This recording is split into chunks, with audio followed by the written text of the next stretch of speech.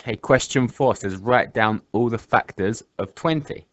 So that's all the numbers that multiply together to make 20. So to get a 20, I could do 1 times 20.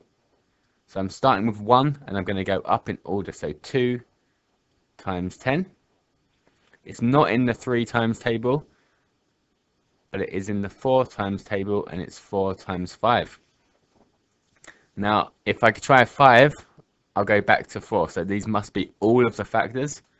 So I'm just going to write them out. So I've got 1, 2, 4, 5, 10, and 20.